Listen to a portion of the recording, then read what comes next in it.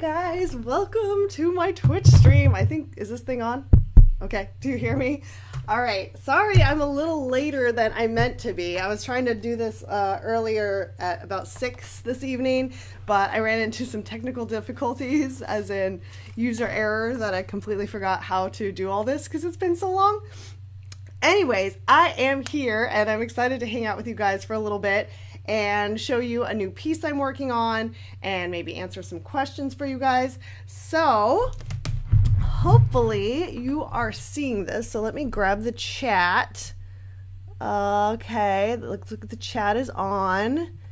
And let's make sure um, I can see. Okay, cool. It looks like I am there on Twitch. Looks like I'm appearing there. Hopefully, you guys let me know if it's uh, choppy or anything. I just got um, a new internet setup, so this is my first time trying it with this as well. So I'm hoping that it's not gonna cause us any problems. This is a little bit of a re-test run today. Okay, hello, a couple of you guys are here already. You're so fast. That's awesome. So, hello, I see Lexi. Hi, Lexi. Good to see you again. And Galaxy Crescent, which always makes me think of crescent rolls, even though I know that's not what you intend. I'm hungry. All right. I'm so glad to have you guys here. Nothing choppy. Okay, but this is probably even better because I got uh, a, one of those new Google uh, routers and it looks very futuristic. So I assume it works better than my old one that I used to have. Okay. I look like I'm sort of like far away from the camera. So let's see if I mean, I don't need to be like up close in HD or anything, but that's a little better. There we go. There I am. Ah, all right, cool. How's that? Good. All right, I like that better. All right, let's get started. And so you guys have some stuff for me to show you. That wasn't proper English. Okay, I'm out of practice. Anyways, you guys, some of you have seen this sketch. Um, this is a commission I'm doing um, for he happens to be an artist himself, which is always a bit intimidating, but I really excited. He had some great references for me, and he really wanted this uh, Snow Queen that's like a little bit Elsa, but not Elsa, which I love.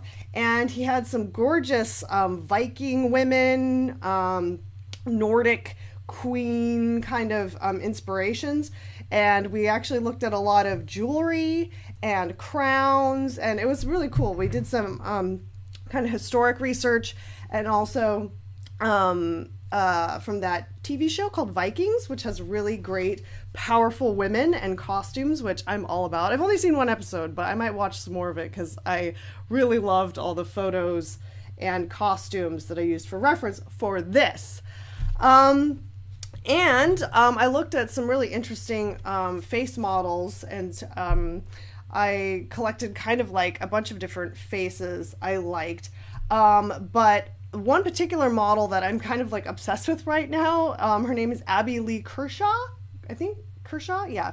Um, she has these just incredible cheekbones and this almost like like gaunt haunting look and i really just love her face so look her up um, she has an Instagram too.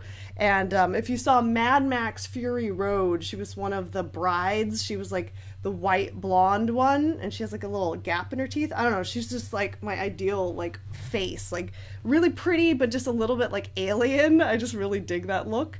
So that is sort of the face model that I used for this particular face. And I'm kind of trying to challenge myself to do a little bit of a different face because sometimes I feel like, oh, okay, all of my characters sort of look the same. And I was like, no, I want a little bit more of a different personality and still my style, but um, I'm going to challenge myself to do a little bit.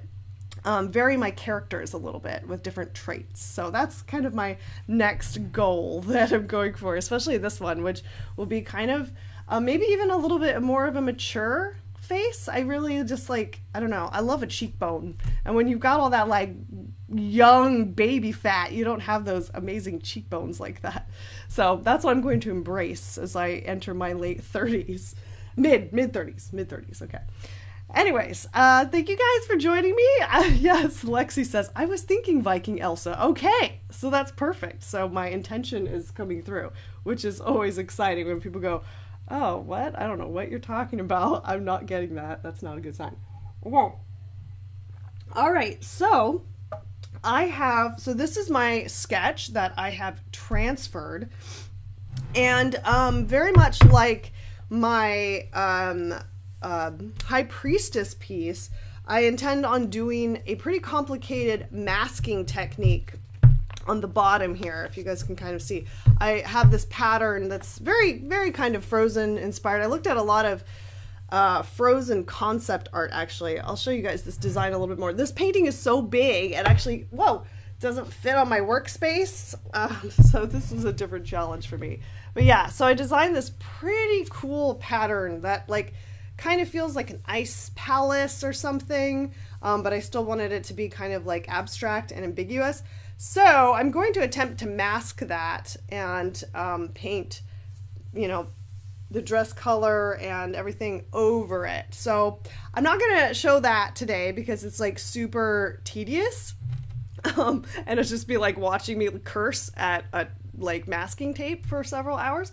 But that I might, uh, I'll show you guys like the peeling process, which is the best part later when we get to that. So, um, originally, uh, my commissioner, Sean, he wanted to do an even bigger painting. He wanted to do um, something like 24 by 36, just huge.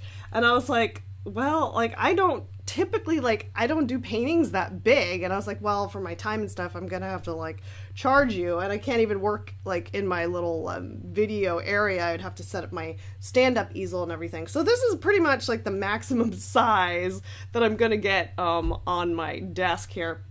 And my plan is today oh my god I just messed up my chair. Hold on. I hit the ejection the ejection seat. What the heck? Come on. There we go. All right. Oh, Jesus. I just got a new chair that's supposed to be better and it tried to kill me. Okay, which one's higher? There's three levers down here. Okay. There. Okay. I, we're good, guys. We're good. Okay. Um, so my uh, plan today while I paint on this is I'm actually going to tilt her up a little bit and hopefully you guys can still see um, yeah, because it's a little easier for me because I can't like lay my body flat over the desk. So yeah, actually that looks pretty good. Yeah, I think that actually looks pretty good for you guys. Okay, uh, a couple more of you have joined us. Hello, who have I got? I've got, oh my gosh, Matthew Beckett. What's up? Hey, nice to see you here. I'm not gonna like embarrass you by asking a bunch of art questions to you, but it's super awesome to have you here. I hope you guys are doing well and keeping busy and also getting some R&R once in a while. I know you guys kind of workaholics over there yourselves. Um, I've got Midnight Doll is back. Hello, Midnight Doll. Welcome. Hello. Yes, Daenerys, Mother of Dragons. So you just got here, um, and definitely, definitely Daenerys inspired. Um, but as I told my uh, little buddies that were here earlier, um, this is a commission piece for a Snow Queen inspired by um, Elsa, but not Elsa, and also um, Nordic and Viking kind of um, queens. So, so not Daenerys, um, but definitely some of her influence in there for sure, because I love her and I also love white wild hair. So definitely an inspiration as well. Um, Game of Thrones if you guys are not into it, you still have uh, like a week to watch all of them before the the last and final season comes out, which I highly recommend. Uh, definitely, definitely a great program. Okay, so anyways, yeah, so I've got um, most of my my transfer went fairly well, and again for this size piece, I actually had to uh, print out three uh, 11 by 17 sheets of paper and tape them all together to get the full transfer on here because it's so big. So that was kind of fun. I also make sure it like lines up perfectly and that it's perfectly centered. So you always want to double check that because I have had a couple of transfer nightmares where everything was like skewed a little bit because I didn't tape the drawing down perfectly. So spend that extra 10 or 15 minutes to align your drawing if you do transferring like I do.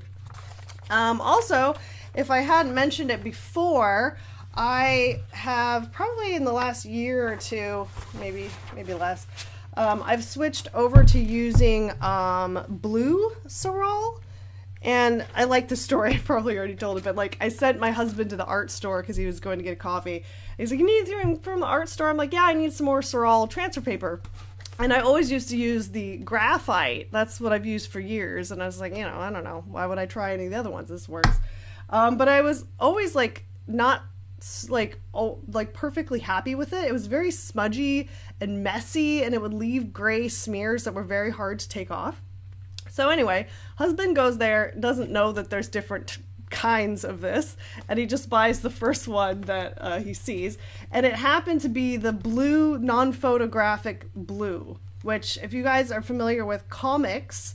Um, I don't. I usually have one around here. Actually, I used to use them, um, but they sell what they call um, non-photo blue pencils, and basically it's a pencil you can use that isn't going to be picked up by a camera or a scanner. So it's kind of great if you are a comic artist that has someone else do your inking because even if the little bit of the, the non-photo blue pencil shows after the inking, it's not going to show up in the scan. So it's kind of a little magic tool, right? So same thing with this, which is great if I'm going to scan or have my painting photographed and I really don't want that underdrawing in there. I mean, usually I don't have much of it left anyways but um, it's kind of just a nice option to have if you want to be more clean. And the other great perk I discovered from this stuff is it's super, super easy to take off. You can use um, even like a little wet um, paper towel or um, Q-tip and just wipe it right off. Like no big deal. Like um, eraser works too, but actually just getting it a little bit wet I've found is the perfect way to take it off. And that's kind of great when you're painting because you can just blend the um, transfer lines into your paint. So it's awesome and it's like my favorite thing ever. So my husband's mistake ended up being uh, a very happy accident, as my hero Bob Ross would say. All right, so anyway, um, I'm pretty happy with this transfer actually, because the other thing that sometimes happens to me is I will transfer the face and I'll somehow just really lose the personality and the, the energy of the drawing. And I try to, um, when I'm doing a transfer, uh, actually think with my drawing brain, you know, not just like an autopilot trace. I try to think about redrawing, um, so to speak, because it really helps get a little bit more of your um, uh, energy, as you in a kind of an abstract way of putting it, into the transfer, and you don't get that like. You know, like when you're a kid and you like trace over like a magazine or something, and it, or you know, it just wouldn't feel like the picture. Um, so yeah, that's just something that I kind of keep in mind. Um, and this one in particular, like I said, pretty happy with it. Uh, pretty happy with the symmetry and the eyes, the intensity of the eyes came through, which I usually always lose that. And I spend the majority of my painting hours trying to get the character to look at me the way that I intended without one eye going up and one down. Anyways, uh, yeah, so you guys are um, chatting about uh, the the photo blue stuff. Yeah, definitely recommend trying that. It's pretty great. Um, yeah, you guys are talking about okay, Game of Thrones. Hello, yay! yeah, good good to see you guys.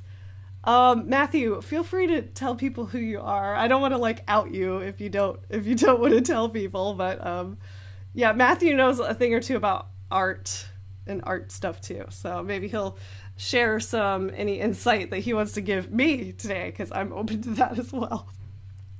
All right, so uh, I also today um, I opened up my questions to our um, lovely people over on Instagram that may or may not be able to join us on the stream today. So I'm going to try. It looks like I got a few questions already um, to include them too, if we can. We'll see how good I am at multitasking today, because it's always uh, interesting when you're trying to paint. All right, so to start, I think um, I usually like to um, do my blocking, as I like to call it. So I like to kind of block in my flat colors and then build on top of that. So Um, some of you guys know if you paint with oils or something that stays wet, it's always going to be like super blendable and you can do a lot of the blending um, right away. Um, however, I work with acrylics, as you guys know, so mine is a little bit like more like doing layers on layers on layers instead of mixing it at once. I do a little bit of wet into wet blending, um, but for the most part, it's a lot of just really light layers and they get sort of thinner and more translucent as I get closer to the finish. So it's kind of an interesting process actually. And sometimes that's frustrating and sometimes it's uh, it's a good perk. Um, dee, dee, dee. Midnight Doll says, "Have you caught up to RuPaul's Drag Race season 11? Who's your top 3?" Yes, I am completely caught up. Always looking forward to a new episode. And my top 3 are Miss Vanjie. I love Miss Vanjie. I just I she can do no wrong by me. I just find her so adorable every single time I see her. I just want to squeeze her and plus she just looks so beautiful. Like I love her makeup that she does and her personality and her humor and she's really stepped it up. I'm I hope that she mixes up her outfits maybe a little bit more because um, I really see her as possibly top 3. Um, Brooke Lynn Hytes because I gotta gotta love got love for my ballerina homegirl. I I was she came out on point and I'm like, okay, I'm done. You're amazing. She's just gorgeous. I love her fashion. Like her fashion is like I just she's kind of like she gives me like a little bit detox at times, but like I don't know. She definitely like has her own thing and I I like I like her a lot. And then I'm probably torn between I and I also like uh, Yvie Oddly. Yvie Oddly was kind of one of my favorites um, from the promos, and I was like, I can't wait to see what she does. Uh, because I I'm actually like I'm a huge Dragula fan, so I really love alternative kind of drag, which could be like gothy or horror or like a little bit of like weirdness mixed in. So I think she really brings that to the table.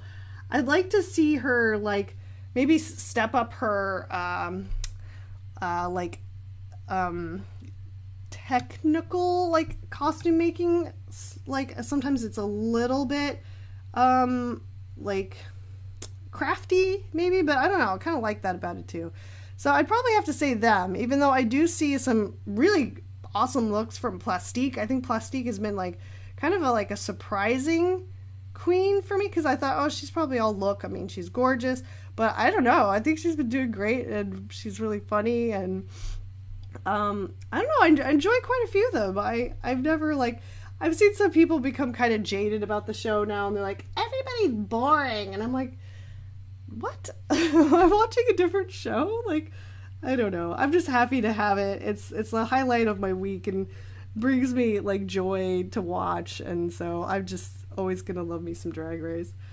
Uh, yeah. So who's your your top? I kind of went off uh, that on that.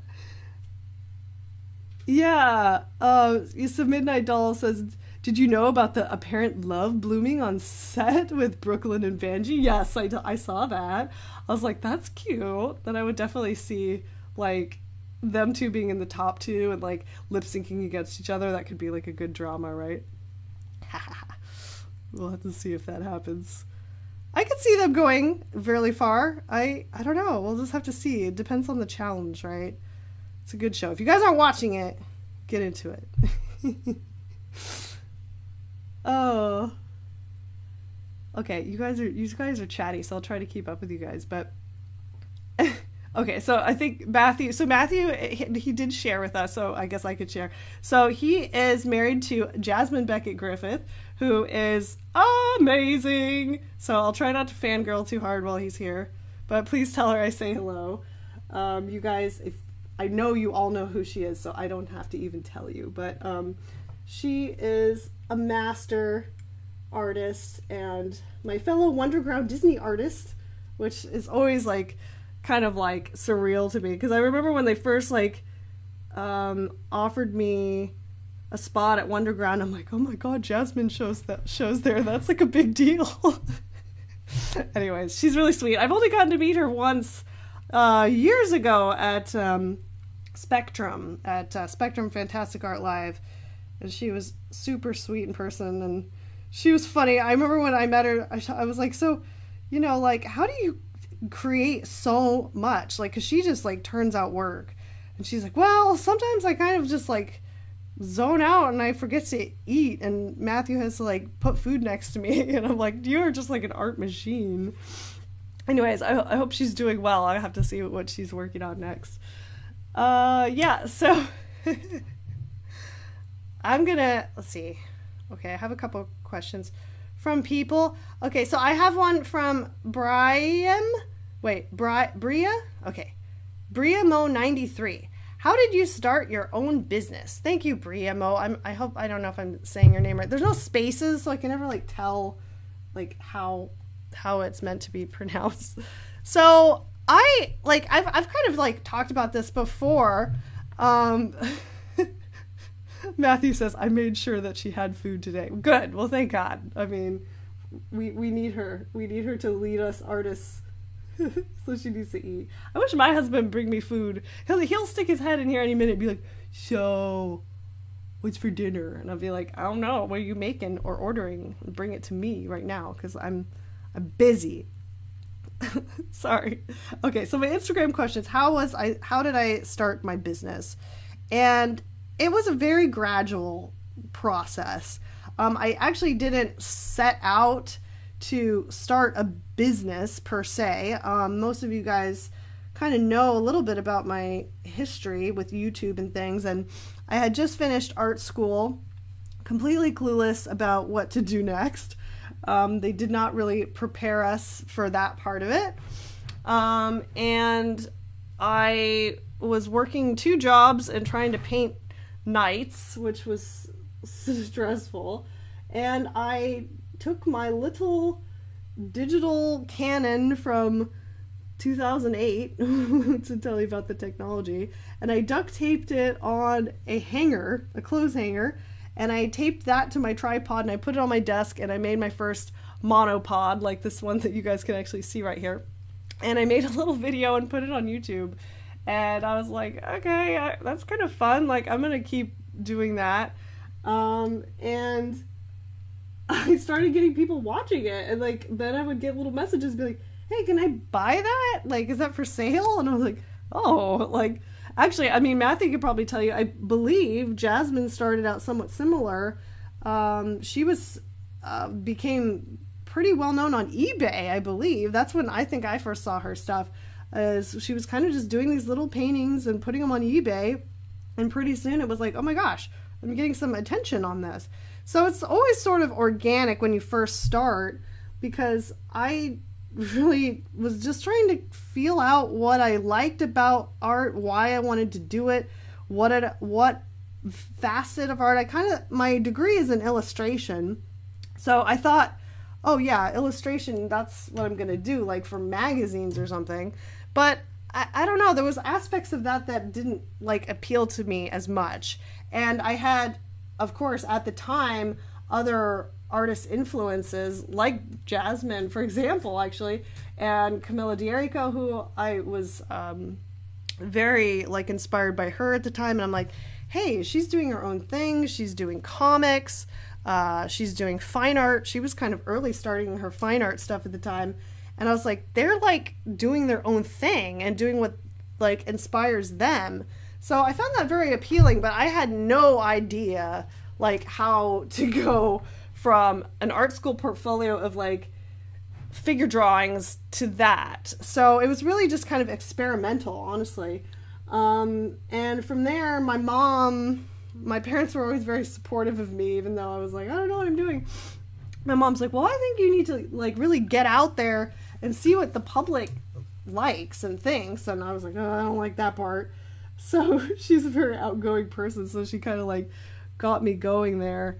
And so we set up some little like tables at like art craft shows, like uh, kind of hokey stuff. And I would I would get people's opinions and I would sell a couple of things usually. Um, and then I kind of was like, okay, well that worked well, so I'm gonna you know, do this next time. And then my mom's like, well, maybe we should get some prints done. Because at first I was just taking paintings, like little paintings on wood and things. Um, and then I was like, okay, what else can we do? Um, uh, buttons or postcards or kind of like that. And I at the same time I was still growing on YouTube and I was doing my Etsy store, which I started to sell a few things there. And I still I still had my day job jobs because in San Francisco I still needed those too. So I probably I'm trying to think exactly because 2009 I think I went fully like supporting myself with my art business in about 2012. 2011, 2012, I was kind of shifting into being able to actually pay my bills just doing art. Um, so, yeah, I just kept at it, honestly. Um, I can go into more detail. I have talked more about this on other videos that I've done, and I'm still kind of trying to figure out if there's potential to do a class kind of to help people get started. Um, the thing that has kind of like uh, shorted me out on the business class, and then, you know, maybe we can talk about this since some of you guys are here, um, is that technology and stuff has changed so rapidly that a lot of the things that I did to get started are completely like obsolete. So I'm like, uh, okay, well, I'm not going to teach you guys to do that because that doesn't even exist anymore. So I kind of need to research and develop and find some new ways, even for myself, to kind of stay relevant and and everything. So we'll see. I'll I'll I'll definitely go into that. Hopefully that answers your question, Brimo. Brimo. Hopefully that helps. Uh, yeah, yeah. So Matt Matt says, uh, yeah, eBay all at once. It's so crazy, right?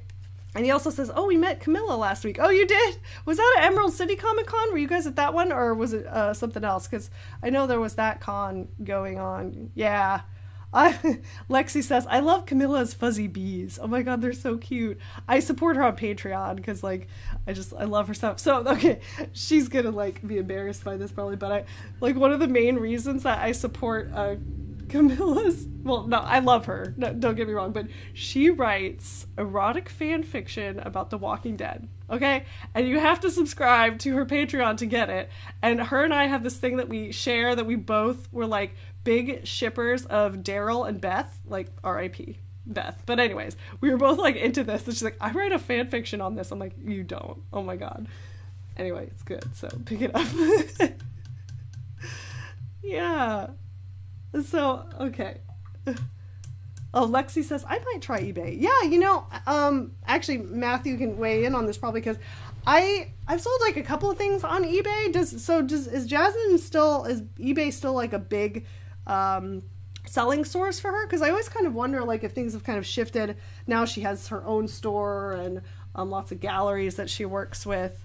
So I'd be curious if that's kind of stayed constant or if she's like kind of shifted. I mean, now her name is like so well known. I I would think people kind of know how to track her down.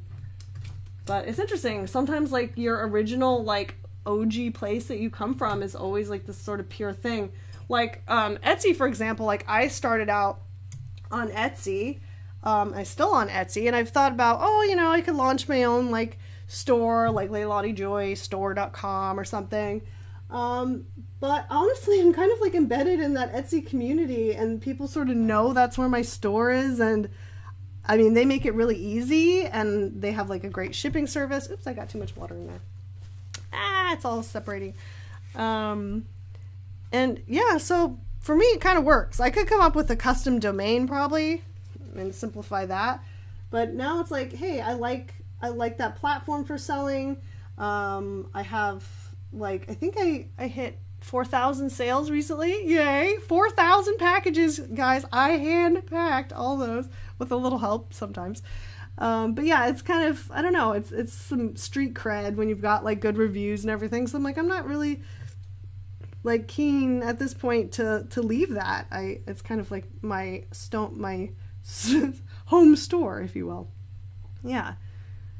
Okay. So anyways, I didn't really talk about this, but you're like, why why is her face color like that? That exact foundation color on Edward Scissorhands, where she's like, "Darn this stuff." Does anyone understand that reference? Um, yeah. So the reason is, is because my palette for this piece is very um, wintry and cool, and I'm gonna have some navies, navy colors, and blues and white. So I really want a cool skin tone that has a lot of violet and actually gray in it. Um, but this is just kind of my base color. So just like drag makeup, you can do base color. Then you go in with your highlights and contours. So I feel like my camera is not doing this color justice. It's actually like a really pretty, very, very, very pale peach lavender with just like a little, little hint of like a grayness to it, which I think is just kind of cool. It makes her feel cold somehow. Um, yeah, anyways, so that's kind of what I'm laying in here. Okay. Uh, okay, so Matt Matt clarified for us. So for for Jasmine, eBay is secondary. Now it's galleries and her personal website. Yeah, I mean that kind of makes sense. But I'm glad she still does it though. You know what I mean? Like that's kind of like, like where she like comes from, and there's certain people that just know that her stuff is there. But yeah, she's definitely kind of like gallery scene is is really where you go for that, and her own website with all her good stuff she has so many products. I'm always like, oh my god, like look at this new product. Look at this new product. It's amazing. She's like a prime example. I know I'm just like gushing over her, but like she's such a prime example of like multiple revenue streams, and I think it's like really the way to do it if you're gonna be a fine artist per se. Because everyone's always like there's no money in fine artists. The little things add up you know, as you guys know, it's like, hey, those little checks come from Disney, those royalties um, from your puzzles or your sculptures or your jewelry line or whatever. And it's like, hey, all of those little micro transactions really pay your bills. So, and then plus the paintings, of course. But you only have to do one painting, and then it can be all these different products and prints and everything. So, I mean, I make, uh, you know, as another sort of business insight, most of my income from small prints. They like I sell a lot of small prints. So those really you add up to more than the painting most of the time. So the prints is just a great like affordable way for people to to own your artwork and you only have to do the one painting. So that's pretty great actually. Um so hello, hello Black Sky, nice to have you here. I'm so glad you could join us. Do you still have ArtNuVogue though? Uh, like my my YouTube channel.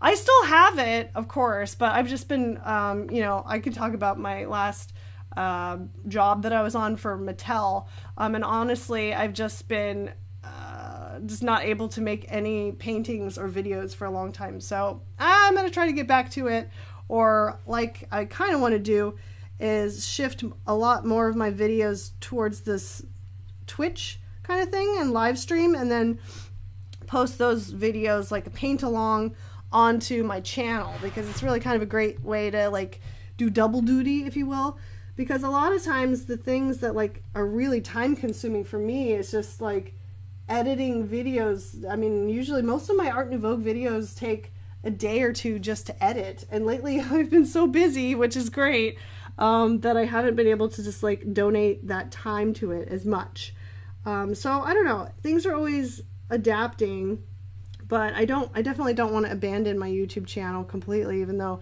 viewership hasn't been that great. Probably because I'm just not posting as much. So we'll see. You know, this is a year of um, kind of shifting my goals and seeing where I really want to put that that effort because I love I love making videos and it's a big part of my job um, so I'm always kind of trying to figure out the best way to continue to do that that's also efficient for my time, right? Because um, that's always the thing that's the most scarce and valuable is our time. And it's like, yeah, I, I'm, I'm actually I'm helping an artist friend right now film her own class. Um, her name is Carla Ortiz. If you guys know her, she is an incredible, incredible artist. Um, she's working with Marvel right now, um, but she's teaching her techniques, and I was um, actually modeling for her and helping her. And I was like, you know, this is it's such a big undertaking to move into video media and, and shift um, what you do with your painting and do that like in a different uh, medium where you're explaining what you do and stuff. Uh, yeah. Hey, okay. Wow, there's a few of you guys. Hello, name Shiny. Name Shiny. Welcome. I don't think I've seen you, you here before, so I'm super happy to have you. Uh, if you guys if you guys have a question, you can always um post it again just in case I don't see it in the feed. Yeah, because I I know you guys are. I'm so glad you guys are here. Hello, Fusro- Fusroa. Yeah, I know you've been here before, and I always mess up your name. Fusroa. That sounds good. Halo. See, oh, Fusroa. I don't know if you're a boy or girl, but they say Carla Ortiz's work is so stunning. I know. yeah, she's a friend of mine, and she's like the sweetest, like most, I mean, non-arrogant person ever, and she paints like a freaking Renaissance master painter, and I'm just like, she's just so awesome. Um, yeah, so Lexi says, Hey, Leilani, is it okay to post links? I wanted to post a link to a web comic with amazing art. I think I have links turned off right now because um, it was like I had one person who was being spammy, so I just turned it off. But if you want, just write it out like write the website and then write dot dot and then com or something that might work like just don't put it as like a link link if you could like do it that way i don't know i'll change that next time because i don't really think we need it but I, I don't know how to do this the uh, setting right right at this time yeah i'll figure it out for next time Woo. i had one weird person in here one time and i was like okay and i don't know how to like ban someone so i need to figure that out mm. okay all right she's looking a little a little blotchy, but that's okay because this is just the first layer. And we're gonna blend it in. We'll do several layers on top of this. Um, this is, oh, I love this board I got. This is from um, Cheap Joe's. You guys know about back? Let's see, this is on here. Yeah, Joe's Prime Extra Fine Art Board by Cheap Joe's Art Stuff. Oh my god, these are fantastic. They're all primed and ready to paint on. I don't have to gesso them or anything. They're beautiful, and this is actually so it came like uh, raw. So whoops. so it looked like this um, when I got it. There's the uh, eh, there. That's upside down, but you guys. So it come it came like this um, which you can paint on directly. You don't have to do anything to it if you don't want to, if you want a little bit of that kind of woodsiness to show through. Um, but I just did one flat layer of acrylic spray paint, white acrylic spray paint, and it gave me this amazing smoothness that's just a little, little bit of tooth. So not too slick, so the paint like adheres really nicely to it. So I'm kind of um, in love with that. I always was um, like a long time advocate for the speedball or the Ampersand panels, but sometimes I find that they're almost too slippery. Like the paint just slips right off, and it takes some effort to get it to actually adhere, you know, which would uh, sometimes kind of be frustrating. So this is like, look at how smoothly that just kind of like goes on there when I have the right amount of paint in my brush. Um, yeah, it's really great. I love that application. Um, okay blend it.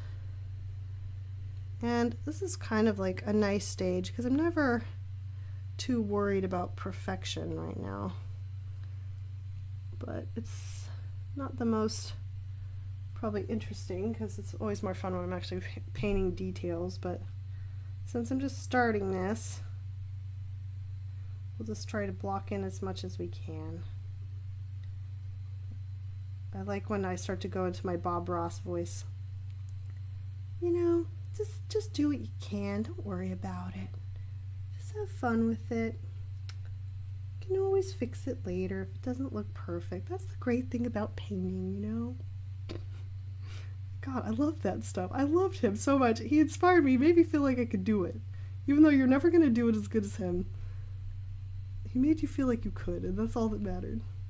I also, oh my god, you guys, I just watched the um, Mr. Rogers documentary, Won't You Be My Neighbor? Oh, have you guys seen that?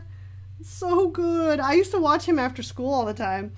And it's just like, I don't know, he's so smart and just like, I really did not know how edgy like the topics were that he handled like um, the JFK assassination and like the Vietnam War, and it was like you'd have to. I mean, I didn't wasn't watching it then, right? I'm not that old, um, but it was like, oh, I the puppets would be like, you know, everybody's talking about assassination. What does that mean? And they would like explain it to kids and like make it like not so scary. I don't know. It's amazing. Definitely recommend. I think it's on HBO right now. If you guys have that.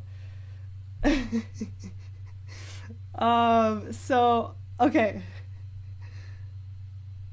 Yes. Uh, Midnight Doll says Bob Ross is making a comeback with the Bob Ross Challenge. What is that? I should probably know. Is that like when people actually try like to paint one of his paintings? Please tell me that. I know he's making a comeback just like because he's like kind of like an icon and he's on like products and stuff and he's on Netflix. So you guys should go watch that. uh, Matthew says, I have to give props for traditional art. Yay! Thanks. I know, right? It's just, I don't want the art form to get lost completely. Like, I just spent, so I, you know, I'll talk a little bit more about this uh, if you guys want to know, but I just spent the last month doing digital um, background illustrations for Mattel for their a Barbie web series, and I it was such a completely different way of working. I just for me to shift gears into doing completely digital like 12 hours a day sometimes and my arms got really sore and I was having carpal tunnel and some other issues. But I was like man I really just miss like getting my hands in paint again and like moving it around. It's just such a different different feeling right? Uh so matt says i once wrote a zombie story about bob ross where he wanted to eat me happy little brains i feel like even if he was a zombie he would like be really polite about it right like i just think i might want to eat your brains that's okay Oh God. Oh, so okay. Oh, so hello, Buddha Fox. What are you? What are you painting? A snow queen? Yeah, I am. So a little recap since you've just joined me. Um, this is a commission piece I'm doing for a client who wanted a snow queen with a hint of Elsa, but mostly um, Nordic Viking references and more of a um, uh, sort of mature take on it. And so he sent me some really great references, and this is sort of um, where I'm at with it. I just did the transfer, and um, I'm painting in her, her skin tone now, which is really kind of um, a cool, um, cool, not cool as in hip, but cool skin tone. Uh, do do um. Uh, Midnight Doll says, I'm actually pissed. My dad told me the old rumor of him being part of the army and why he always wore sweaters to hide tattoos. But it turned out to be false. Yeah. I, so she's talking about there was a rumor that um, Mr. Rogers always wore, sweaters because he was like all tatted from the war, but that was that was uh, uh, an urban legend. Um. yeah. So uh, West Side Rapper. Hello, West Side is not rapper Reaper with a three. West Side Reaper coming back to Disney soon or nah? Yes, I am. Um, in September. Don't have the exact dates yet, but I'm in talks with them. So I said I wanted to be near Halloween time this year. So I will be there um, at least two weekends of September, uh, if not all four. I'm not sure yet. Um, Matthew, are you you're in SoCal, right? No, I am in NorCal. Um, I'm in San Francisco area, and born and raised NorCal, and um, hopefully get to stay. But it's so freaking expensive. We're kind of like, hey, you know, we could move to like Sweden and like live really well. so we'll see how much longer I can hang here, but I love it here. Um, I've uh, just like I love to travel places, but I just always love to come home to Northern California. I know that's like what they all say, but I just it's we've got forests, we've got ocean, we've got cities, we've got incredible food, we've got a good art scene beautiful weather. Dig it. I just, I love it. I'm from Sacramento area originally, but I've been in the Bay Area for, oh God, more than 10 years. So I'm kind of a local now. Um, ye, okay, so Midnight Doll says Bob Ross challenge is actually just following his instructions to paint, but some people do it by listening to his words instead of example. Okay, now that might be fun. I might have to try that. I'm not a landscape painter by any means, but that could be an interesting challenge. Creatures from Starlight, I made it! Welcome! I'm so glad you're here. Um, actually, I started a little late today, so you're totally fine. I was gonna go earlier, but it took me a while to get all this set up and working properly. um, so, oh, Olivia, hello, Olivia Johnston. I thought you were drawing Sansa. Okay, lots of Game of Thrones references today because someone else thought I was doing um, um, Daenerys.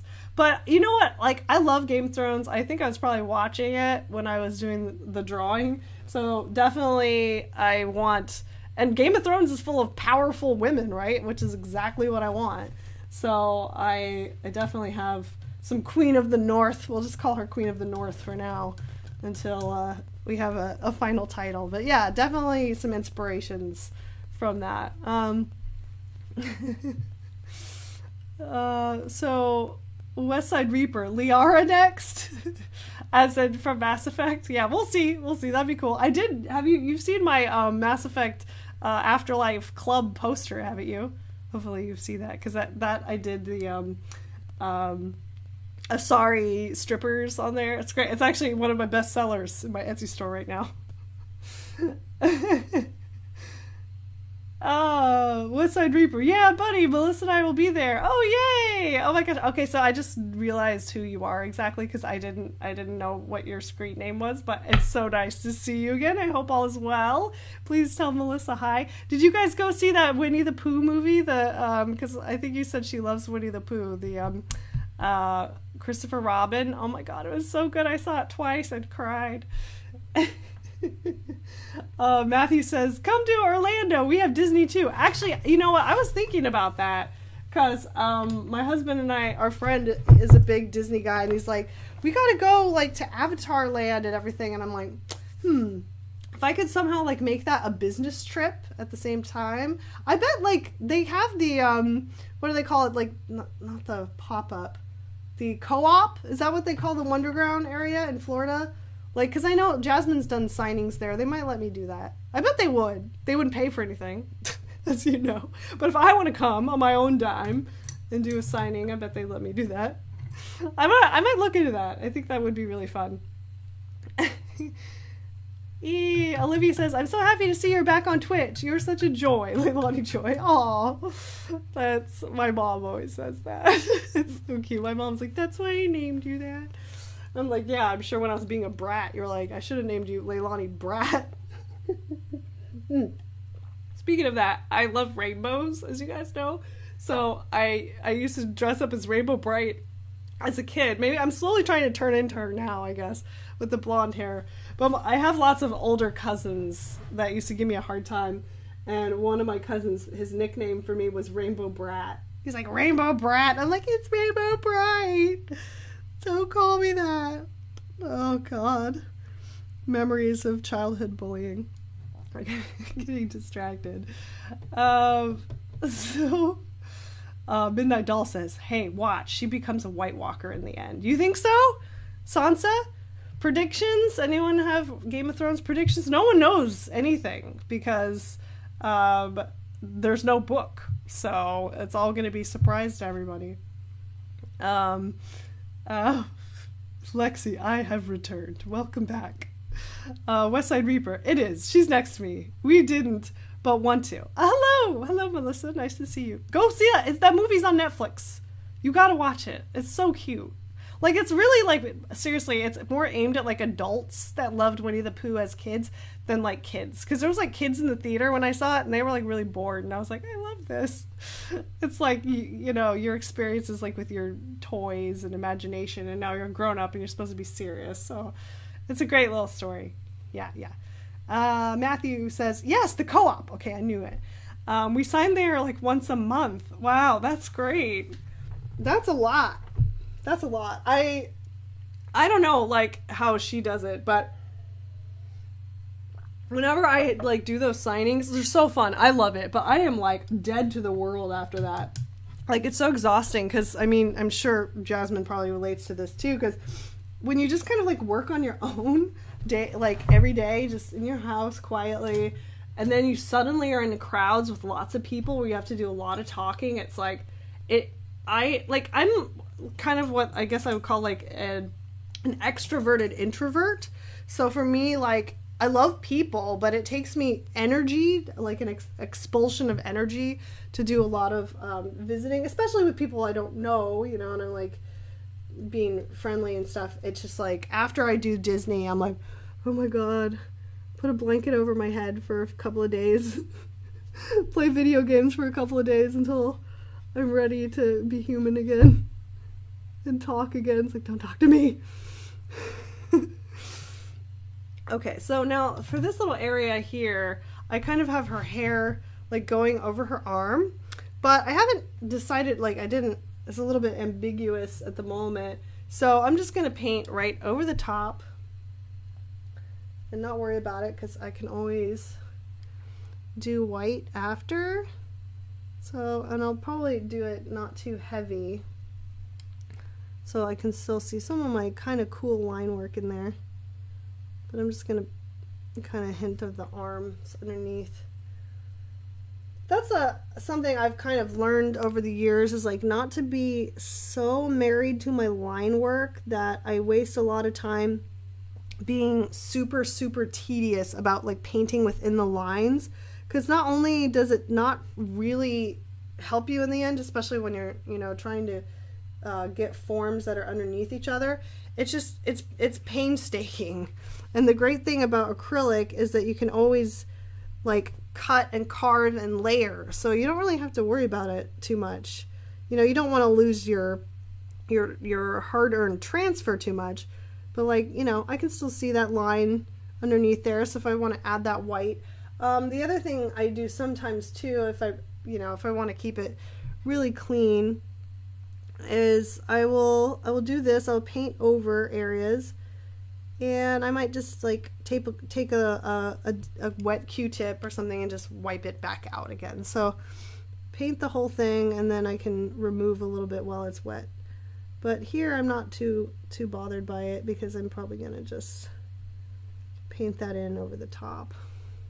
And this is a pretty thin layer right now, so it's not gonna add too much weird texture. Sometimes I am a bit concerned with that because I don't paint very um, like impasto, as you would say. I don't paint with a lot of uh, raised texture. I like it to kind of be smooth. So until I start building up a lot of layers, then I might not do as much overlapping. But like at this stage, it's it's fine. You know, I don't. I'm not gonna worry about it too much. Kind of lets you be a little bit more free in the early like blocking kind of stages. Yeah. So, uh, yeah, Matthew, Jasmine is an insane introvert, so I understand. Well, you wouldn't get that much work done if you weren't, in a way. Because, like, extroverted people usually tend to, like, get tired of being inside and being alone. So I think artists in general are a lot of times introverts because that's kind of like where we feel safe and happy is like alone and, and making things like my mom always like thought there was something wrong with me because i didn't want to go out with friends she's like why don't you call a friend i'm like no like I had one friend who I liked to come over and just hang out with me, but I just never was like, I want to go out with my girls and like whatever. Like I just didn't really do that. I just liked I was content. I was genuinely content making my little comic books and everything and I think maybe parents are probably better at that now, like you know, embracing a child's individual style, but like I don't know. Like when I was a kid, my mom was like, you know, why don't you want to like call people? And she's very extroverted, so I think she was always kind of like, you know, wanting me to make that effort. And she actually, I mean, it's funny that I say that as a negative when I was young, but now as an adult, she's forced me to do that. It's helped me like create my business and like really get to know people and make it so that I can go to Disney and be outgoing and enjoy it and not be like, oh, I can't handle this. So practice always makes perfect, but but also, you know, if you're an introvert like me, it's cool if once in a while you're like, no, I don't want to do that. I'm going to stay home, paint. You know, balance your life, keep in touch with the people you really care about and friends and stuff. But if you're like, you know, my happy place is just being at home and making art, then I think that's cool too. We're not all the same, you know. Uh, yeah. So I think you guys had probably quite a few things for me. Um, if I missed it in the chat, just post it to me again because I'm so happy to have so many of you guys here. It's awesome. Uh, so Buddha Fox, have you seen the new trailers of the Addams Family and the Lion King? I'm so happy. I can't wait to watch. Lion King looks awesome. My only gripe, okay, my only gripe is I am a huge, huge Jeremy Irons fan. Okay. I like I own every audiobook that he's ever done, so I just listen to him like lull me to sleep. Um, and if you don't know who Jeremy Irons is, he is the original voice. My husband's probably jealous of that. Actually, it's probably weird. Um, anyways, if you don't know who he is, he's the original voice of Scar in the animated version of The Lion King, and I just think he he just does such a great villain voice. Um, and I love I love that they brought back James Earl Jones for Mufasa because nobody else could do it. It's just so perfect. Uh, but the the guy, I think, is it? I know who he is. Is it Chiwetel who's doing Scar? He's a great actor. I do. I really like him. Um, but I just I don't know. In the trailer, I was like, that's not scary enough for me. It wasn't evil enough for me. So we'll see. I'm going in with an open mind though, because it does look really great. Um, the Addams family, I don't really know about that. I think I saw. Is it animated? I thought I thought I saw something that looked like a 3D animated thing, or is it like actual actors? I don't know. Tell me. Matthew says, if you do not know who Jeremy Irons is, um, you can unfriend me right now. Thank you. Oh, Jeremy Irons. I don't know. I I'm sure the man is like 70 something now, but he's just he's just I don't know. He's so attractive to me. I love his voice. It's just it's everything. Yeah, please go check. He's in some really weird films though, so I don't know if I'd recommend all of his films, but I think he's a fantastic actor. Um, but yeah, he's super British guy. You probably know if you look him up, you would know who he is probably. So go find out. Um, my husband is constantly like, "Okay, so what is with you and Jeremy Irons? I mean, do we need to talk about this?" I'm like, hmm, "No, I mean it's not gonna happen, so don't worry about it." Uh, he's also was the voice of Spaceship Earth at Epcot. Oh yeah, I haven't been there in so long that I probably didn't even realize that, but it makes perfect sense. okay, uh, so yes. Oh boy. Okay. Ah, get out of here. Uh, oh, so funny enough. So a starry-eyed seal. I think you're here. Hopefully, I thought I saw you. Um, but she she also said, um, "Are you? What are you most excited about? The live-action Lion King or Aladdin?" I think I'm gonna have to go with Lion King. Although I was kind of I was one of those people that was laughing about the Will Smith genie, but I saw another trailer where he looked a lot better.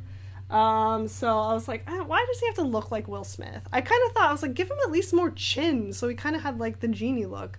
But I, I'm excited about it as well. Like I think it looks good. I really like the casting for uh, Jasmine and Aladdin. I think they're adorable.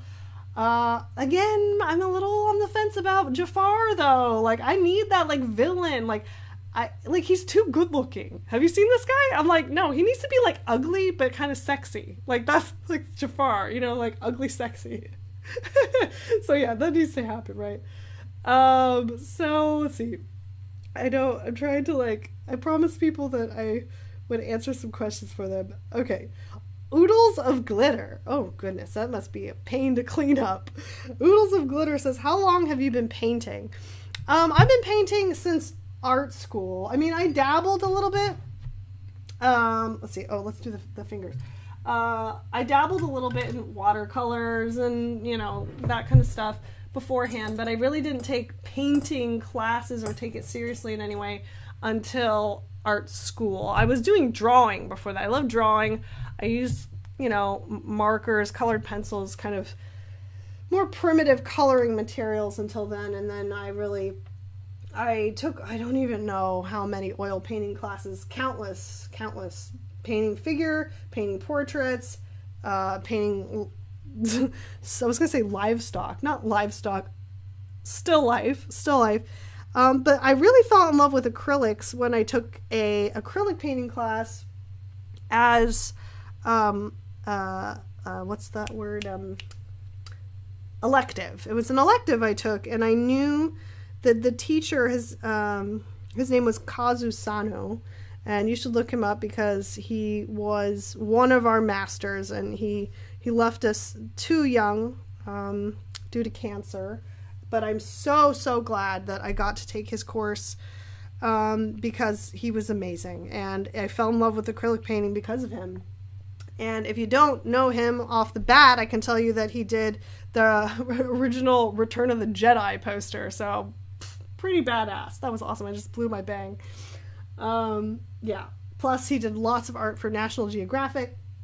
Again, I have too much water on there, damn it. Uh, anyway, he was cool. So, he's really what got me into acrylic. And he's told me one of my favorite pieces of advice, too, because I often felt very self conscious in art school, actually. Um, I always felt like I was behind. I felt like I was kind of like a wallflower. I was afraid to ask questions. I, I just felt like I'm not even good enough to be here. Why am I even here? A lot of the times. And he he let us be very imaginative. So we had a live model. It was a it was a six hour class, a live model, but he said just use the model as reference. You can do whatever you want. You know, you can create a scene. It doesn't have to be reality or literal. So I would always take the model and, and you know have giant antlers on her or like have this like crazy kind of like fantastical stuff. I, I should bring this out. I think I showed my Patreon people some of my art school paintings. Anyway, so he came up to me and I was just kind of painting along and he said, You know, he's like, You're one of those artists that like I would say you can always improve your technique. You can always learn painting and get better at drawing and painting. He's like, but it's much harder to teach people to have interesting and creative ideas. And he's like, and you have that. And I was like, oh my God, that's like the best thing anyone ever said to me. And because I, I never felt like my technique was that great. I still don't sometimes. I'm like, I'm not maybe the best painter, but I really do have fun coming up with ideas and, you know, getting better at executing them little by little is kind of the best that I can hope for, right? So thank you, Kazu. That was that was awesome. You really like took me from someone who was discouraged to thinking, okay, you know, that's a good point. I'll just keep practicing if I keep getting inspired by something and do a little bit better every time. So, a little bit of a, of a tangent there for you. Uh, okay, someone has has to leave. Are, Lexi, are you going? Okay, if you have to go, good night. Thank you for coming. I know it's it's kind of late already. It's crazy. Uh, so let's see. Okay. Um. Okay. Oh God, how do I say this? Nama, ah, WNC. Okay, I I know. Okay, she has a really cute picture in her thumbnail. Okay, Oh, I'm gonna give her a little shout out to her art. Look at, yay, this girl. Okay, I think you're a girl. See, I actually don't know what gender you are. So beautiful artwork. She has a question, and it is: Are any new and exciting projects? So yeah, so that's probably um, like something I could talk about now. If you guys want to talk about the Barbie thing a little bit. Um, did any of you guys watch it? It's on Barbie's official YouTube channel. If you want to go check it out. Um, it's called Barbie Travel Mysteries. And I did episode so I did all of the artwork for episodes one, three, five, seven, and eight, and um, some of the art for six. So only there was two other episodes that another artist um, helped out, but I did most of it. Um, and they're coming out weekly. Episode one and two are out already and it was it was like i said it was a whirlwind kind of project they had like insane deadlines that i'm not really used to working within so that was they're like you can do that right and i'm like yeah okay i think so i didn't sleep very much for like a month so i was like oh my god I'm losing my mind um but yeah so anyway so that was the last exciting project that i did um and it was such a unique challenge you guys because like I am not a landscape painter. And I was like, so why are you guys contacting me exactly? Um, but the art director said he saw my art. I don't, I think when he was just doing like style research, and he was just like, I just really like this, like, kind of graphic feminine quality that you you bring to your paintings and then he's like well do you have any examples of landscape art you know other than the backgrounds of your paintings i'm like no. um, he's like, do you have more digital art? I'm like, no. so anyway, it was kind of odd, but I was like, so I did a test uh, free of charge. I said, I'll do a test. And if you like this, then you can hire me. Um, if not, then, you know, it's okay if I'm not a good fit. Um, you might want to find an artist that does more like this. Um, and they they liked the test a lot. So I was like, okay, I'm going to go for this. And um, I upgraded my old little, I used to have a little Wacom tablet, the, the one where you draw like this and your computer's up here. And my husband's like, okay, you need to get a Cintiq because if you're to work this intensely, you need better equipment. So I found a great deal um, on a um, slightly older model of Cintiq. It's the 24, no, it's not the 24 inch.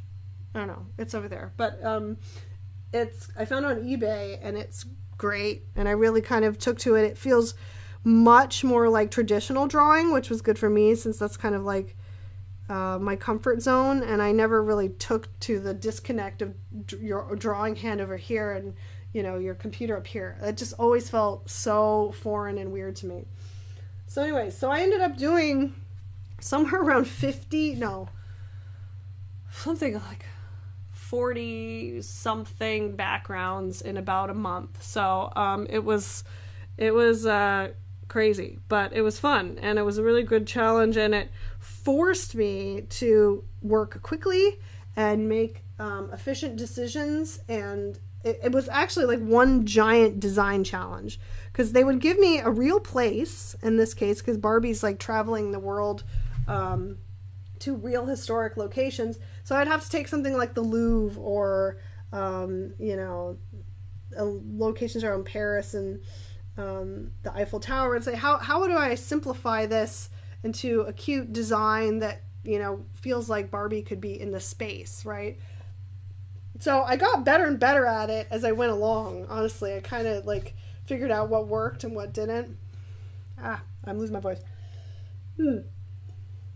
So yeah, so check it out. Um, if you guys are on my Patreon, I've showed you guys some behind the scenes of some of these backgrounds. And yeah, they turned out really cute. I'm really proud. I mean, it was kind of like, okay, I can't expect perfection from everyone because I don't have time. They want it turned in tomorrow. So I got to live with it unless they need changes. So that was kind of a good um, test for someone who's a bit of a perfectionist. And especially when you're a painter, sometimes you're like, oh, I can keep going, I can keep going, and it's not quite done. It's like, make a decision because you got to turn that in and just be like, well, that's good enough. You know, it might not be perfect, but um, I learned something on each one. So, yeah. So check it out. Check out the uh, the show and let me know what you guys think. Have any of you watched it? I know it's like kind of for kids, but yeah.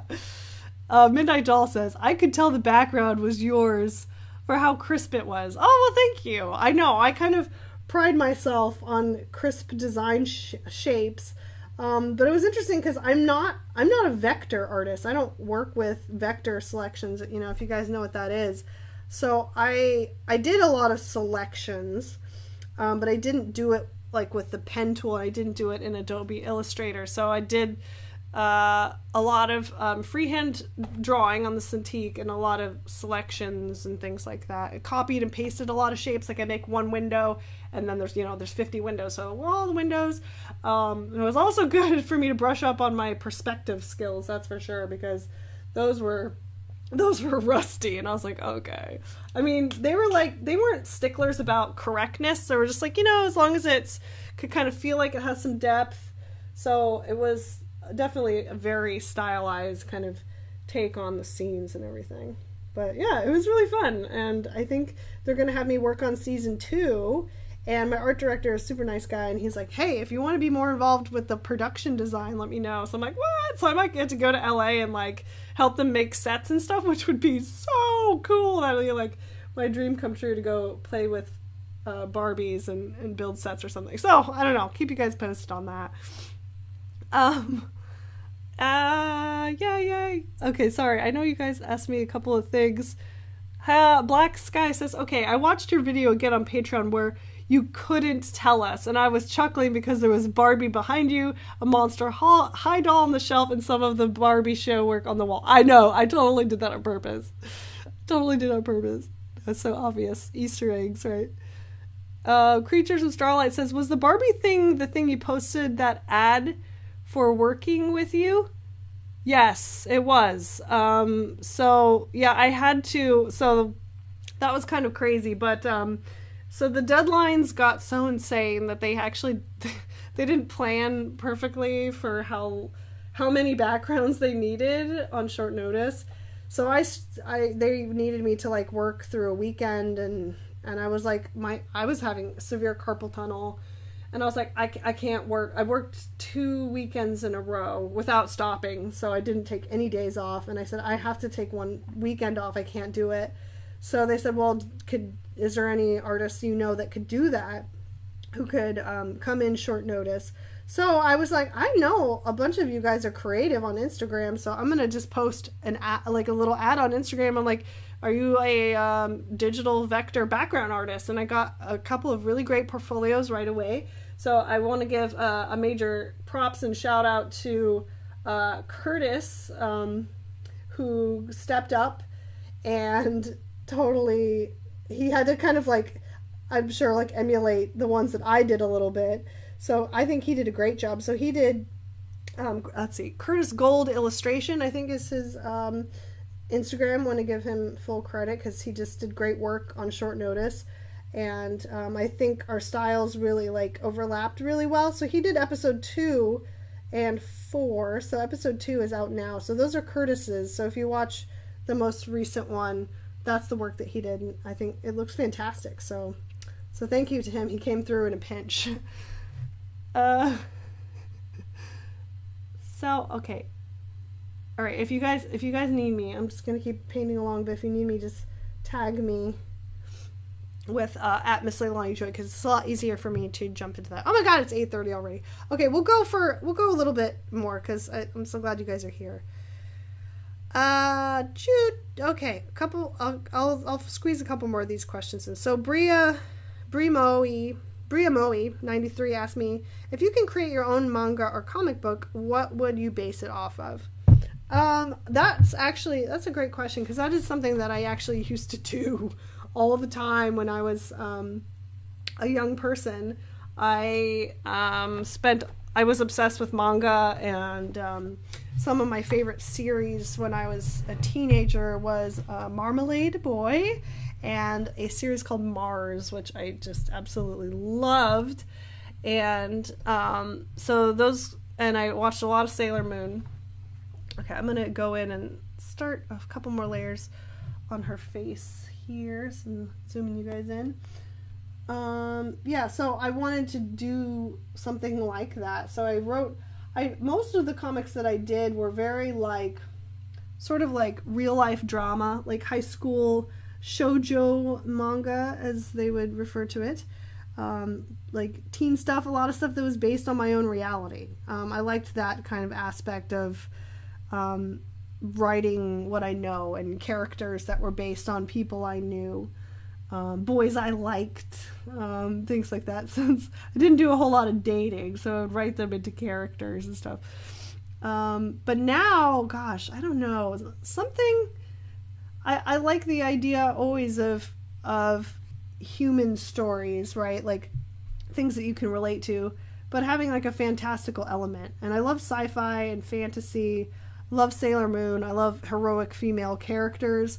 So I probably would maybe go somewhere down that that route. I don't know if I'd have like the secret identity thing because I feel like that's been done a lot, but I don't know. Probably something. I went and saw Shazam the other day, which was so funny. You guys should see that. It's great. Um, I have a funny story for you though because I felt for the first time recently very very old in front of a younger person so I come out of the movie theater, and there's this cute girl working at the theater, and she was like, "Oh, I like your outfit." I was like, "Oh, thanks." She's like, "How was the movie? I, I haven't seen Shazam yet." And I was like, "Oh, it's so fun. It's very like 80s, 90s action adventure comic movie, but like really inspired by Big, the movie Big." And she just looked at me like she was. I think she said she was 21, and she's like, "What?" And I'm like, "The movie Big, you know, with Tom Hanks, you know." And she's like, Oh, well, I, I haven't seen that, but I'm sure my parents have. And I turned into grandma right in that moment. And I was like, Oh, okay, well, bye. Let me hobble away with my cane.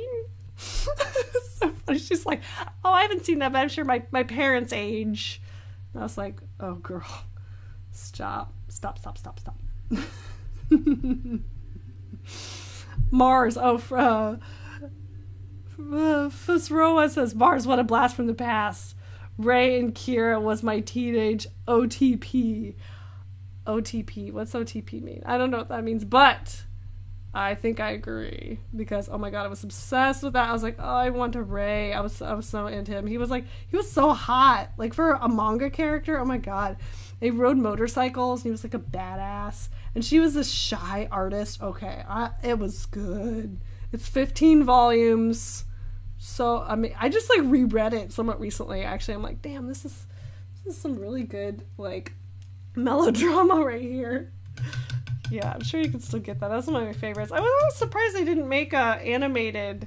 I think they had like a Korean live action of Mars. I don't know if you know about that like um, TV show, but I don't think it ever was a an anime, which I think is unfortunate. It wasn't. It wasn't fantasy. It was just um, like some suspense and like crime stuff, but like mostly like reality. So I don't know. yeah. Shazam! Shaq be quaking. Okay, now Shazam with Shaq. Now that ages you right there because like the young people's they don't know about Shazam with Shaq. I do. I know what it is. I'm talking about the new one, but yeah. I kind of have like a special place for that one, right? Lexi says, "Don't feel old. It makes me feel great. I laugh at all those whippersnappers. Get off my lawn, kids." right? No, it's cool. I I'm totally. You know what's funny though? It's like even when I was young, I had older cousins, so they always were like showing me like movies from the '80s and like. So I I already had like my point of reference was already older than I was, so I kind of like came from that a little bit. And I love movies. I've seen movies from all eras, so I feel like I kind of have more of a base than maybe like someone not from that. And I don't know. It's kind of interesting though. But I was like, I think isn't that like Big is like a pretty well known movie? I guess I don't know. Uh, I can't. I another funny story I like to tell is I I used to work. This I mean this is a long time ago, and honestly, there's no excuse for this. But I used to work retail in San Francisco, and there was this guy who was, uh, maybe, uh, okay, my, my husband has a paper sign. Food, no water, so take, oh, I didn't think of that. Our sink is broken. Yes, please. Hey. Yeah. What are you going to get? I don't know. Okay. Well, I'm wrapping up. I'm almost, I'm almost gone for two hours now. Okay. And I've barely done anything. Yeah, God, some it's days. nine, so Oh my God. some food before pe- places close. Oh, yeah, okay, okay. Okay, uh, I'll, I'll just pick some. Oh, get you could get those appetizers from that ramen place. That could be good. I don't know. Pick Maybe, something. yeah, Pick something. okay. Right. I just see. I told you he was gonna stick his head in here and be like, "Where's food?" It, it totally happened. I predicted it. Okay. Ah, now I got some yucky fibers in here.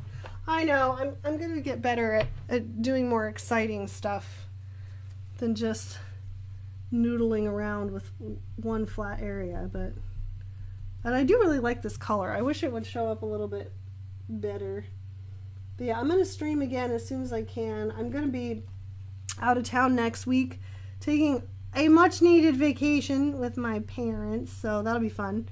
Uh, get some sun, and then after that, I'm just gonna like hardcore paint and hopefully stream and and hang out with you guys. Cause man, I miss this. It's so fun. I really do. I really do love this, and I we got such a great turnout today. And so thank you guys so much for like hanging out. Like, okay, what Midnight Doll says I'm only 23. So how the heck have you seen Shazam? Wait, Kazam? Oh, was it was it Kazam? I thought it was Shazam. Uh oh, I'm not sure either. West Side Reaper says, wasn't it Kazam? I don't know. Was it Kazam or was it Shazam? Because I thought it was also Shazam. All right, somebody look this up, please. Someone, someone tell us. Midnight Doll says they got little now, which is the reverse of the Tom Hanks movie. No, that's not real. Are you kidding me? Starlight Seal says, "I'm 26, and these teeny boppers yeet me into confusion." what? What's yeet? Is that a typo? Oh my god. Yeah, it was Kazam. Okay, so why did I remember it as Shazam too? I don't know. I mean, it's a simple mistake to make, right? It sounds like pretty similar. Roller. All right. Okay, I know what we can do. Let's see. Just just for fun, let's put just a little eye color in, cause man, I love doing that. Um, I'm thinking like an icy gray blue. What do you guys think of that? Let's do that while we finish here today, and um, I go find some food and go back and play uh, Shadow of the Tomb Raider for the remainder of the evening. Cause oh my god, that game is everything I need from a Tomb Raider game. So I'm not gonna go into this too much, but I'm an OG Tomb Raider player, as in I played the original Tomb Raider when it came out, and I'm in 1990. um, and they've rebooted it several times, and they um, they did so they did Tomb Raider, and then they did Rise of the Tomb Raider, and now they have uh, Shadow of the Tomb Raider. And I got the reboot Tomb Raider, and I was just I was not really that into it to be honest. It they changed a lot of the dynamics, and they wanted you to like it was more open worldy, and they wanted you to do the upgrading, and I was like I don't want to do that, I don't want to do that. And then they had a lot of um, just too many like shootout action sequences, and I'm like I want that weird creepy, lonely exploration feeling that used to get with Tomb Raider. I used to have my younger sister sit in the room with me when I played Tomb Raider because it was so creepy and I'd get scared if like a boulder would come out or like a T Rex or something. So I'd be like, come, come sit in the room with me. I play Tomb Raider. Um, but this new one, so it was on sale uh, for half off, and my husband's like, hey, I got you this for your birthday. And I love it. It's great. It's got the old school bits of Tomb Raider. I'm mixing my paint over here. That's why uh, you guys don't see what I'm doing. Um, but it also has some really great combat and um, really uh, clever, clever, challenging puzzles. It's just great. So, anyway, I'm really, really into it right now. Okay, Lexi says yeet is another word for throw or fling. I don't, I have never heard that word before. Sorry. Lexi, have you played God of War? No, but I, I heard it was good. Um, so here's the thing, like, um, it is think it's for is it for PlayStation only? Because I only have Xbox. Ooh, I like that color. Where's my little paper? I have a um, I have a little paper here that's like my color samples. What I'm making a mess here. So, ooh, I like that that color quite a bit for the eyes. Mm-hmm. Mm-hmm. Mm-hmm. Just good. I'm getting it all over my hands, which is probably going to be on my white sh- t-shirt that I actually like. Should be wearing my apron. Um, uh, Midnight Doll says, I watched a lot of movies due to my mom being a movie hoarder. She mainly she mainly made me watch 80s films like The Breakfast Club and Girls Just Want to Have Fun and Dirty Dancing. Well, go mom. Go movie hoarder. Okay, so fun fact. I love The Breakfast Club, um, and I can almost quote the entire movie. Okay. A little bit embarrassing factoid, but I love it, and um, my sister and I watched it dozens of times. I had a major crush on Judd Nelson in the movie, even though he's like a pretty terrible person. I don't know. There's something kind of hot about that. He's also like 40 in the movie, and he's supposed to be like 18. he hasn't aged well, sadly. Oh my god, it's so good. The dialogue in that movie, though, it's just like, it's so I don't know, quintessential 80s, and just I don't know. It also is like realness to it. I always kind of appreciated that one more than something like 16 Candles sometimes, which was very, um, I don't know, kind of fakey. It's like that would never happen. But I kind of like the idea of the Breakfast Club where it's like these different personality types ending up in the same, um, in a, in a, you know, locked room situation. Young man, have you finished your paper? okay. Uh, Creatures from Starlight. Roughly how long are you going to stream for? I'm actually going to get off, like, right now, um, because I've been going since a little after 7. Um, so this has been kind of a, a, a, little bit of a longer stream. I was just going to go for an hour and a half. But I got to go because I haven't eaten dinner yet. Uh, but anyways, I am going to try to do it again soon and not so much time between, uh, between movies. Uh, Black Sky says, Mannequin? Yeah, I love Mannequin. Oh my god. Oh, Desperately Seeking Susan. That was also one of my favorites. Um, with Madonna. Oh my god, I love that movie. Mannequin had Kim Cattrall in it from Sex and the City. Oh my god, that dude, I really do know a lot about 80s movies. And the guy from Pretty in the Pink. Yeah, okay. Anyways, love those. Love those movies. Anyways, we'll talk more about this next time. Let me see if there's anything real quick that I missed um, from guys that I can answer really quick. Uh, okay.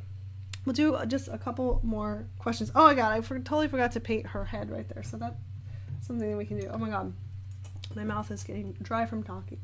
Okay, let's fill that in because that's going to be like a uh, metal crown chain here. Okay, Tomas Tomas uh, Stavelli says, "What is your least favorite villain?" I don't have a least favorite villain because I love all villains and relate to them. Uh, no, just kidding. Least favorite villain.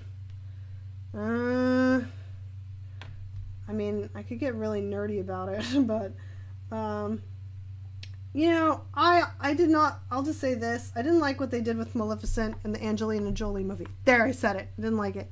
She looked amazing, but nothing else was good about it. So I guess that's kind of an answer. Uh, Kelsey Grew says, "What kind of varnish do you use slash recommend?" Oh, the age-old varnish question. Um, I could give you a long answer or a short answer, but since I'm gonna get off of here shortly, um, what I use right now is uh, no, that's okay. This is this is the okay. Now don't get confused. This is the varnish remover, but the bottle looks the same and it's too far away. So I use um, Gamblin, uh, and it's called um, Gamvar Picture Varnish, and I have found um, in the, in their gloss that that is the most user friendly varnish, and it's pretty hard to mess it up.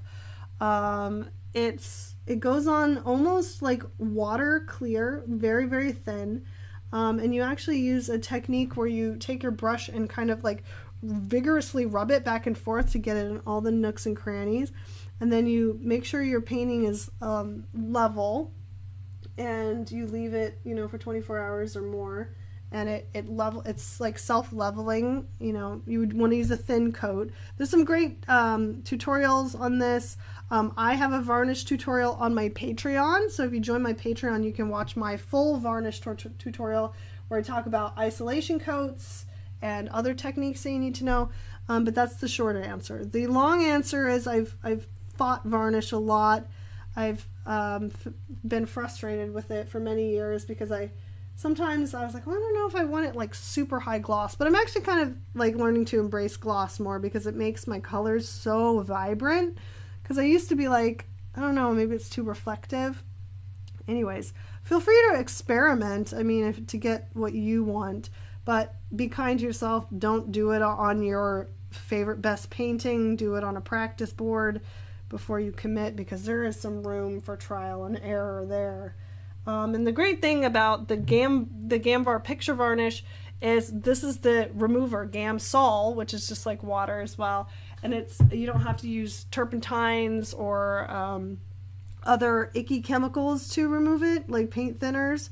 Um, it comes off really easy. So if you make a mistake or you get a big hair in there or something, you can easily take it off gently with the Gamsol and do it over again. Because um, I did that once on a painting where my painting wasn't quite level, so it pooled a little bit on one side, so the, the varnish was visibly thicker in one area and thinner on another, and I'm like, oops! So I just, I took it off with the Gamsol and I did it again and, and fixed it. All right, uh, I think that's it for uh, Instagram. Hopefully, so thank you guys for your questions from Instagram. Hopefully, you can check out this stream after the fact. Um, thank you guys so so much for hanging with me. Um, I want to um, talk to you guys more about this. Um, Lexi has a says speaking of Gamblin, I'm still stuck on my Frida painting. I'm gonna start it again once it starts getting warmer, so it'll dry faster. Uh, yeah, so yeah, experiment with that and uh, see if you if you like that. It's it's it's pretty user friendly, honestly, which is great for me because some some varnish techniques I'm like, oh my god, they have like wax varnish, like that you like rub on like a wax. I, I don't know, all kinds of different techniques. Okay, guys. Well, my mouth is tired and my stomach is hungry. So, anyways, hey, now she has some eyes. See, kind of just like brings life already. Thank you so much again for for hanging out with me, you guys. I will post the stream on YouTube after the fact if you missed it. Um, yeah, and I hope to stream again soon. Make sure you're following me here on Twitch so that you get an alert to your email when I'm going live. And yeah, so that's it for me today. And I hope to see you guys again really soon and post some more updates on this one. Uh, in the meantime, catch me on Instagram and I'll talk to you guys all later. Bye. Bye, everybody. Have a good evening. Um, do some art. Okay. Uh, going now. Bye.